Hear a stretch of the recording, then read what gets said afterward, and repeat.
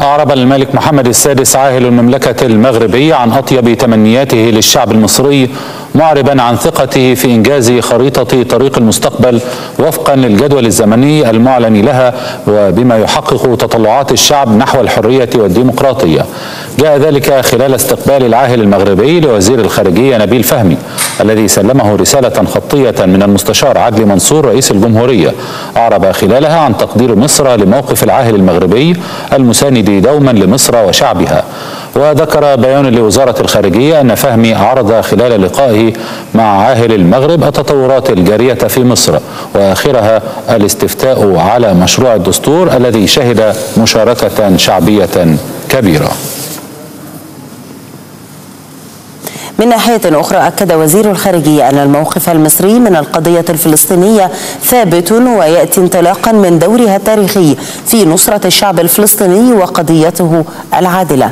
وشدد فهمي على دعم الدولة العربية والإسلامية للقضية الفلسطينية والقدس الشريف عاصمة للفلسطين. في هذا الاجتماع الهام حول قضية حساسة للغاية للعالم العربي قضية القدس تحديدا. والحقيقة بنشكر المغرب على استضافة هذا الاجتماع وسينتهي الاجتماع إلى تأكيد دعم اللجنة ودعم العالم العربي والعالم الإسلامي للقضية الفلسطينية والقدس, والقدس الشريفة عاصمة لفلسطين. إلى تطورات الأوضاع في سوريا حيث بدأت فصائل المعارضة السورية اجتماعها في مدينة إسطنبول التركية والمقرر أن تعلن خلالها موقفها النهائي من المشاركة في مؤتمر جنيف. كان من المفترض أن ينعقد الاجتماع أمس إلا أنه تأخر بسبب تحفظ قرابة 40 عضوا من الائتلاف الوطني السوري على الانتخابات التي فاز فيها أحمد الجربة. من جهة أخرى أجرت تركيا وقطر المكلفتان من قبل الدول العربية والغربية للتفاوض مع المعارضة السورية أجرتا محادثات موازية في أنقرة مع أربع مجموعات مقاتلة سورية من بينها الجبهة الإسلامية في محاولة لإقناعها بجدوى مؤتمر جنيف اثنين. ميدانيا حقق مقاتل المعارضة السورية تقدما على حساب الدولة الإسلامية في العراق والشام المعروفة بداعش خلال معارك مشتركة غرب محافظة حلب. وقال المرصد السوري إن جماعة الدولة الإسلامية انسحبت من بلدة سراقب الاستراتيجية بعد اشتباكات عنيفة مع عدة كتائب مسلحة من المعارضة استمرت أيام. كما دارت اشتباكات عنيفة بين الجيش الحر وقوات النظام قرب بلدة الغانتو بمحافظة حمص.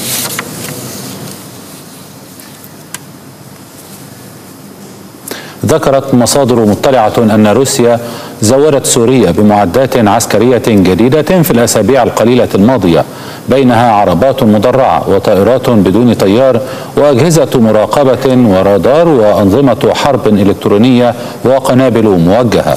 وأوضح مصدر بالمعارضة السورية أن طائرات استطلاع روسية من طراز يو اي تستخدم لمساعدة القوات السورية في رصد مواقع المعارضين وشن هجمات دقيقة بالمدفعية والقوات الجوية ضدهم مضيفا أنه تم توصيل بعض الإمدادات إلى ميناء اللاذقية في سوريا منذ نحو ثلاثة أسابيع. من جانبه حذر وزير الخارجية الأمريكي جون كيري النظام السوري من مواجهة المزيد من الضغوط الدولية. حال محاولة تحويل مسار المحادثات القادمة في جنيف.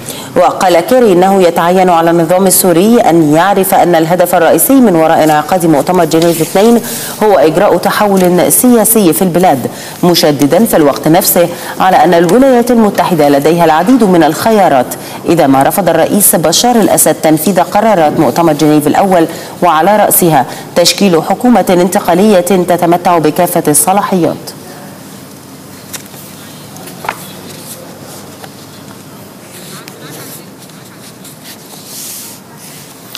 وللمزيد من التحليل والمتابعة ينضم إلينا عبر الهاتف من اسطنبول الدكتور حسان الشلبي عضو المجلس الوطني السوري من اسطنبول. أهلا بك دكتور حسان. وبداية هل أنطق اسم حضرتك بشكل صحيح؟ نعم نعم نعم نعم. أهلا بحضرتك. أهلا بكم مشاهدينا الكرام نعم. أهلا بك هل حددت فصائل المعارضه دكتور حسان موقفها من المؤتمر؟ وماذا سيكون موقف المجلس إذا أصرت باقي الفصائل على الذهاب؟ للمؤتمر. سيد الكريم لا شك أن هناك خلاف قوي في داخل اروقه الائتلاف الوطني السوري حول آلية الذهاب إلى جنيف اثنين الكل يؤمن بأن الحل السياسي أمر لابد منه ولا مفك منه وأن الأزمة السورية لابد أن تنتهي بحل سياسي يحقق المطالب العادلة للشعب السوري. لكن المجلس الوطني وأطياف كثيرة من المعارضة ترى أن الذهاب إلى جنيف 2 ليس من ورائه أي طائل.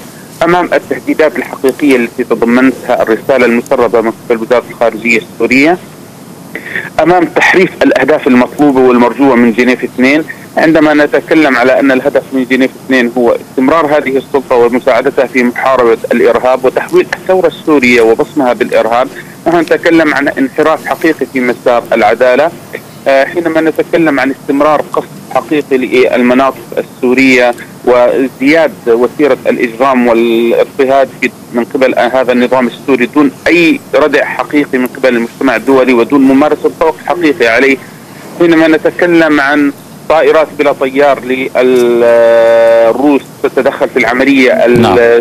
على الأرض السورية كل هذه المناخات غير صالحة لأن نتكلم عن ذهاب إلى جنيف 2 وأي جهة تتجرأ وتذهب إلى جنيف 2 ستكون ساقطة ولن تستطيع أن تمثل الشعب السوري في المرحلة القادمة وسيخسر المجتمع الدولي. أولا قبل أن يخسر الشعب السوري سيخسر المجتمع الدولي ممثل سياسي حقيقي للشارع نعم. السوري.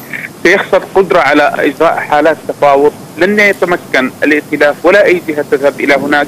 من فرض أي شيء من المعادلة على الثوار الذين يطالبون بأقل حقوقهم من فتح ممرات آمنة من وقف آلة القتل والدمار من إطلاق سراح المسجونين من إبداء حسن النوايا وإيجاد مناخ مناسب لهذا المناخ السياسي للأسف.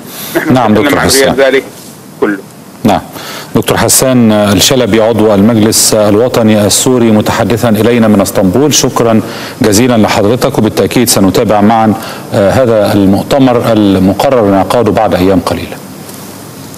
إلى لبنان حيث أصيب ثلاثة أشخاص على الأقل جراء سقوط ثلاثة صواريخ على رأس بعلبك في مدينة منطقة البقاع قرب الحدود السورية. كما أصيب جندي آخر في استهداف لمركز تابع للجيش. بقذيفة صاروخية في طرابلس شمال لبنان. يأتي هذا في حين قتل ثمانية أشخاص بينهم خمسة أطفال وأصيب عشرون آخرون في سقوط قذائف على بلدة عرسال الحدودية في شرق لبنان. وذكر الجيش اللبناني أن عشرين صاروخا على الأقل أطلقوا عبر الحدود وسقطوا على مناطق حدودية لبنانية. في العراق شن طيران الجيش العراقي قصفا استهدف مناطق جنوب مدينة الفلوجة بالأنبار. وتستعد قوات من عناصر الصحوة لاقتحام الفلوجة لطرد مسلحي تنظيم الدولة الإسلامية في العراق والشام داعش من المدينة. من جهة أخرى قتل شخصان وأصيب عشرة على الأقل في تفجير مزدوج جنوب كركوك شمال البلاد. لا يزال المشهد العراقي يشهد حراقا مأساويا خاصة في محافظة الأنبار والتي أعلن تنظيم الدولة الإسلامية في العراق والشام داعش. أعلن سيطرته على أجزاء كبيرة من مدينة الرمادي وإعلان مدينة الفلوجة ولاية إسلامية. وفي جديد الأزمة قصف الطيران العراقي مواقع للجماعات المسلحة في النعيمية وزوبع جنوب مدينة الفلوجة. يعتقد بوجود عناصر مسلحة من داعش فيها بحسب مصدر أمني. من جانب آخر أكد رئيس مؤتمر صحوة العراق أحمد أبو ريشة أكد أن قوات من الجيش وعناصر من الصحوة تستعد لاقتحام الفلوجة لطرد مسلحي داعش من المدينة وذلك غداة تعرض المدينة لقصف من الجيش. رئيس مؤتمر صحوة العراق أكد أن مسلحي العشائر وقوات الجيش يسيطرون على أطراف الفلوجة بينما يسيطر عناصر من التنظيم على وسط المدينة. كما أشار إلى أن مسلحي العشائر بدأوا بالفعل عملية تمشيط واسعة بحثا عن مسلحي داعش وذلك بعد نجاح مسلحي العشائر في تطهير منطقة شارع الستين والملعب في الرمادي. وتشهد الأنبار منذ شهر تقريبا عملية عسكرية واسعة. تشارك فيها قطاعات عسكرية ومروحيات قتالية. إلى جانب مسلحين من العشائر لملاحقة مسلحي تنظيم داعش والقاعدة أسفرت عن مقتل وإصابة واعتقال العشرات منهم. وبعيدا عن أزمة الأنبار وعلى وقع التفجيرات المتكررة في كافة الأنحاء سقط أكثر من عشرة أشخاص بين قتيل وجريح إثر انفجار عبوات ناسفة بالقرب من سوق لبيع الخضار بقضاء المدائن جنوب العاصمة بغداد. كما انفجرت عبوات ناسفة أسفرت عن قتلى وجرحى استهدفت دورية للشرطة لدى مرورها في قضاء التاج شمالي بغداد. تزامنا سقط العشرات بين قتيل وجريح إثر تفجير مزدوج لعبوتين ناسفتين كانتا مزروعتين في منطقة دوميز جنوبي كركوك فيما تمكنت قوات الأمن من إلقاء القبض على أحد قيادي تنظيم داعش والعثور على مخبأ للمتفجرات غربي كركوك. يذكر أن محافظة كركوك التي يقطنها خليط سكاني من العرب والكرد والتركمان والمسيحيين والصابئة تعد من أبرز المناطق المتنازع عليها فضلا عن كونها من المحافظات التي تشهد أعمال عنف تستهدف عناصر الأجهزة الأمنية والمدنيين. عماد العزالي النيل. بانوراما نيل مستمرة وفيها بعد أخبار الاقتصاد. جيش جنوب السودان يعلن انتزاع السيطرة على مدينة بور الاستراتيجية من أيدي المتمردين.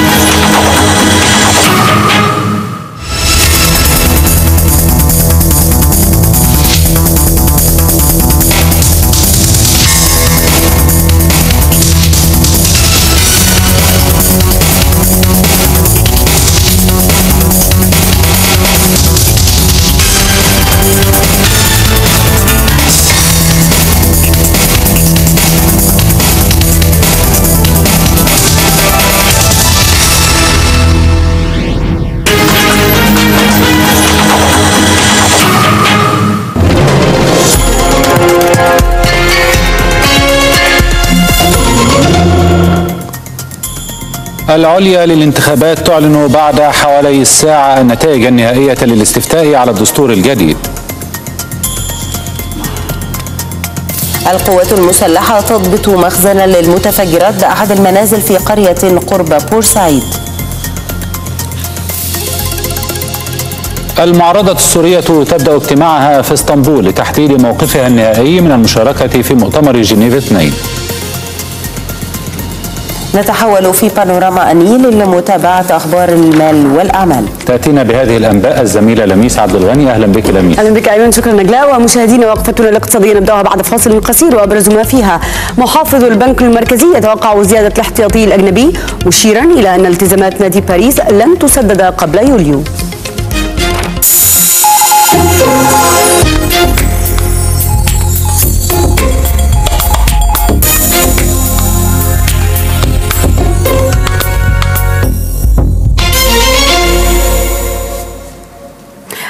بكم توقع محافظ البنك المركزي هشام رامز توقع ارتفاع معدل الاحتياطي الأجنبي لدى البنك المركزي خلال الفترة المقبلة بسبب حزمة الإجراءات التي اتخذتها الحكومة بالإضافة إلى السياسة المالية التي ينتهجها القطاع المصرفي للاستثمار الأمثل للعملة الأجنبية. وأضاف رامز أن الفترة المقبلة فرصة لالتقاط الأنفاس لأن مصر لن تسدد التزامات لنادي باريس إلا في يوليو القادم.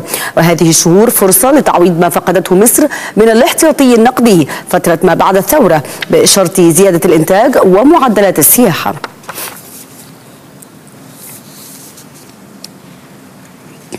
أكد وزير التخطيط الدكتور أشرف العربي أكد أن الدستور المصري الجديد يؤسس في كثير من مواده للعديد من المحاور التي تساعد على تحقيق التنمية المستدامة. وأضاف العربي أن الدستور يلزم الحكومة بإعادة ترتيب الأولويات لأن الاستثمار في البشر هو الهدف لتحقيق التنمية المستدامة مشيرا إلى أهمية الاهتمام بتوفير الطاقة الجديدة والمتجددة حيث أن مصر لا تستخدم أكثر من 3% من الطاقة المتجددة. ومن جانبه توقع وزير السياحة هشام زعزوع توقع أن تنتعش الحركة السياحية بعد إقرار الدستور الجديد. وأكد زعزوع أن المؤشرات تظهر أن أصحاب القرار السياحي في العالم يربطونه تماما بالظروف السياسية في البلاد. صرح وزير الكهرباء